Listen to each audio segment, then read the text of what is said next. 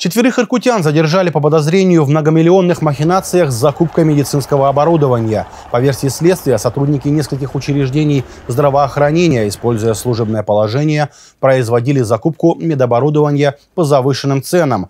Техника приобреталась в рамках государственной программы развития здравоохранения. Ущерб федеральному и региональному бюджетам оценивается в 21 миллион рублей.